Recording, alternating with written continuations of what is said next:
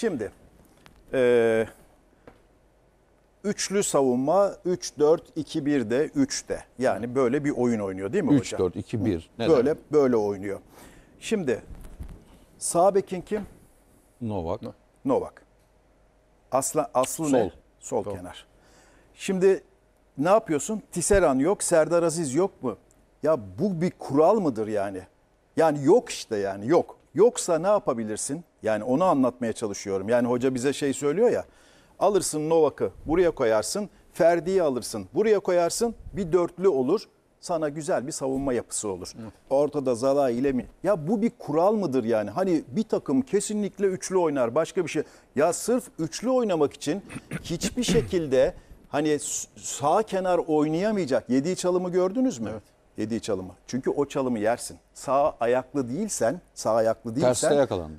Böyle dönersin adam oradan gider golü atar. Yani anlatabiliyor muyum? Bu bir kural değil yani. Bu tamam hocaya saygı duyuyorum. Diyor ki ben üçlü oynayacağım diyor. Tamam üçlü oynayacak. Ama şurada Novak oynamaz kardeşim. Şimdi başka bir şey daha söyleyeceğim şimdi. Bu, bu birinci bölümü. işin birinci bölümü. Şimdi dönelim. Bak şimdi başka bir şeye daha e, geleceğiz. Yani burada yapılabilir. Hani bana bazen diyorlar ki tamam da kardeşim ne yapacak? Ne yapsın? Ne yapsın? Alsın Novak'ı sol beke koysun. Ferdi'yi alsın sağa koysun. Önüne de Osay Samuel'i koysun. Al sana işte. Ferdi sağ olur mu? Sağ zaten. Oyuncu sağ zaten. Mecburiyetten solda. mecburiyetten sağ önde oynayan oyuncuyu sağ arkaya koyacaksın. Ama ne olacak? Yapar mı yani abi? Novak Yapar, yerinde çok oynayacak. E zaten şu anda da sol kenarda o işi yapmaya çalışıyor. Takımın en, en çok Yani sol kenar. Bak biriydi. şimdi bu, birinci nokta. Bu birinci nokta. Halbuki çok kolayca bunu yapabilirdi. İlla da bak ne diyorum. Tisseran varken, Serdar Aziz varken bunu yapıyorsun. Buna saygı duyuyorum. Diyorsun ki ben böyle oynayacağım diyorsun. Ama Tisseran yok. Serdar Aziz yok. Novak'ı getirip sol ayaklı Novak'ı sağ tarafa koyup üçlü stoper oynatıyorsun. Kaldı ki Novak bir stoper de değil. Onu da söyleyeyim. O da ayrı bir konu. Sağ stoper olmadığı gibi stoper de değil. Ama getiriyorsun koyuyorsun. Bir. Şimdi şöyle bir bakalım istersen. Savunma yapar mı? Yapar. Yapar. Savunma Zalai. yapar mı? Yapar. Savunma yapar mı? Yapar. Yapamaz. O ofansif oyuncu. Evet. Ofansif bek. Hep, hep önde. Ama Bak Trabzon'da- ofansif bek. Yani ben En çok onun kanadından gol yiyordu Trabzon galiba. ama, Bak Trabzon'dayken. bu ofansif bek. Sol ofansif bek. Ofansif. Dikkat et. Bek ama ofansif bek. Savunması güçlü değil. Hücumu daha güçlü bir bekten bahsediyoruz. Savunma yapar mı? O, yani ofansif oyuncu mu defansif oyuncu mu? Sorayım. Ofansif abi. Ofansif. Ofansif oyuncu mu? Ofansif. Evet. Defansif. Defansif oyuncu mu? Defansif. Defansif. Evet.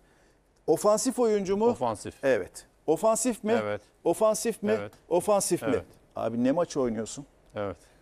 UEFA Avrupa Ligi maçı oynuyorsun. Aynen. Sonra bana demeyeceksin rakip çok iyiydi. Nasıl iyi Bir tane kardeşim? geriye oynayan adam ya var orada. Bir Evet. Gustavo, bir Minjakim, bir savunma. dışındaki oyuncuların tamamı ofansif Gustavo, felsefe. Gustavo'nun da canı çıktı bu arada. Ha işte Ne onun yapsın? için Gustavo o duruma onun için düştü En zaten. son yuhalanacak oyuncu biliyor musun Gustavo? Şimdi ne oldu? İşte bak bu üçlü, şu üçlüyle sen rakibi komple durdurmaya çalıştın. Bütün bu arkadaşların hepsi hücuma gitti. Ve hep ve olim- kenarlardan geldiler, kanatlardan. ve geldi. Yani anlatmak istediğim burada çok önemli temel bir konu.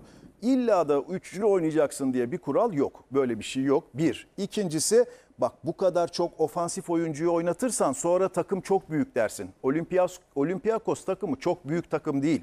Evet. Öyle yani çok biz oturmuş bize çok büyük takım ya. İtalyan ligi takımı değil, İs- İspanya Evet. takımı değil. Hani Yunan ligi bir de ya. Yunan ligi yani bizimle eşdeğer bir takım. Hangi büyük takım? Sonra bir başka şey daha söyleyeyim. Rakip takımın teknik direktörü nereli? Portekiz. E niye o dörtlü oynuyor? Evet. E Aynen. neden dörtlü oynuyor? Sonra bize şöyle bir şey söylüyor. Onun için anlatıyorum bunları. Yani bu kadro üzerinden. Bak defans yapmaz, defans yapmaz, defans yapmaz. Ee, bunları zaten defans yapsın diye dönüşüme uğratmaya çalışıyor hoca. Onunla ilgili uğraşımda. Ee, defan, Mert Hakan defansif oyuncu değil.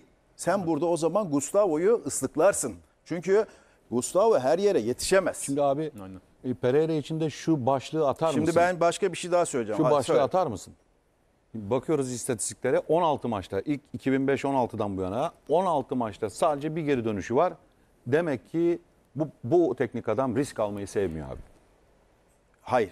Geriye düştü mü Geriye toparlayamıyor. düştüğü anda Ama toparlayamıyor. bunu Risk- yapabilmek Ha. için risk almak lazım. yani Demek ki almıyor. Yanlış Korkuyor hamleler belki de yapıyor yani. ya risk da- almaya, çekiniyor. ba- bir şey söyleyeyim. Hani bazen diyor ya eleştiriyorsunuz da kardeşim eleştiriyorsunuz karşılığını söylemiyorsunuz. Yap dörtlü, al burada da dörtlü.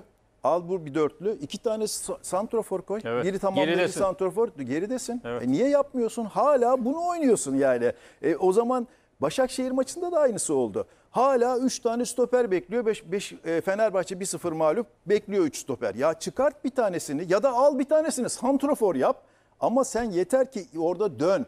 Şimdi bu bu nokta buraya geliyoruz. Yani buradaki konu anlaşıldı değil mi? Evet. Yani net bir şekilde. Bu kadar çok ofansif oyuncuyla oynarsan karşındaki takımı dev sanırsın. Dev. Halbuki karşındaki takım seninle e, ya karşındaki takım da Onyekuru oynuyor işte Bir de yani. çok yoruluyorsun. Hızlı. Bu-. Böyle bir takımla çıkınca çok yoruluyorsun. Onu da söyleyeceğim şimdi. Onu da söyleyeceğim. Ve oyunu elde. oynarken oyunu oynarken kırılma maçı oynuyorsun. Knockout maçı oynuyorsun. Knockout maçı oynadığın için Zeki'nin söylediği son 30 dakikada sen 5 oyuncuyu birden değiştirmek zorundasın. Çünkü geçişi çok hızlı yapmaya çalışıyorsun. Geçiş, geçiş, geçiş, geçiş. E oyuncu belli bir saatten sonra ne oluyor? Düşmeye Düşüyor. başlıyor. Yani buradaki temel nokta o. Şimdi gelelim e, hocanın burası anlaşıldı diye düşünüyorum ben. Yani burada söyleyecek çok şeyim var da e, mesela bu bölgede şu bölgede üçlü sürekli değişerek oynuyor. Bunun ne tür zararı var değişerek oynamasının? Buraya yardım etmez. Tabii. Buraya yardım etmez. Zaten- Çünkü oyuncu Rossi'yi bir bakıyorsun sağda bir bakıyorsun solda. Pelkas sola gidiyor. Valencia sağa gidiyor. Peki bunların önündeki bu alanları kim kapatacak? Evet. Kim kapatacak? O zaman şimdi O kadar Aydın alın- abi konuşmasında santrafor da lazım Bak. değil eğer öyleyse. Bak, yani. Yani Aydın santro- abi doğru söylüyor. Hayır. Düşünsene 3-0 yenildiğin maçta maçın yıldızı Altay. Niye? Çünkü bu kadar oyuncu hem geriye gelip yardım etmiyor arkadaşlarına hem de o kadar çok kontratak yedin ki o kadar rahat pozisyon buldu ki Olympiakos ya belki sezonun en rahat maçını oynadı yani. Şimdi- Sen baskılı oynamana rağmen ki o baskıdan sonuç elde edemiyorsun bir de. Yoruluyorsun, geri dönemiyorsun. Şimdi knockout maçı oynanıyor. Evet, knockout Şimdi maçı. şöyle söyleyeyim. Bu knockout maçlarından bir kere mesela şeyde de oynadık knockout maçını. Frankfurt Frankfurt'ta. karşısında da. Ama orada, Orada iş iyiydi. iyiydi. iyi döndü. Hatta kendisi de açıkladı. Dedi ki çok fazla geçiş oyunu oynuyoruz. Oyuncularım yorulmaya başladı dedi. Şimdi şöyle söyleyeyim. Ee, Burada biraz önce Ahmet Selim de söyledi. Fenerbahçe geçen haftaki Hatay yani ligdeki Hatay maçı. Şimdi bazı izleyicilerimiz yazıyor bana. E Novak geçen hafta da oynadı. Ama geçen hafta Hatay'a karşı oynadın bir. Doğru oyun stratejisiyle oynadın. Yani daha kalabalık kaldın geride. Yani kalabalık kaldın hızlı hücuma çıktın. Evet. Bir. İkincisi şimdi maç önü açıklamalarını söylüyorum Pereira'nın. Onu söyleyeyim. Maç çok öncesi. önemli. Maç öncesi. Belki de vardır bizde. Maç sonunu verirsin Var istersen. Herkes teknik direktör. Herkes benden iyi biliyor. Bizim öyle bir iddiamız yok. Yok, biz teknik Biz daha iyi değiliz. biliyoruz demiyoruz. Ayrıca teknik direktör de değiliz.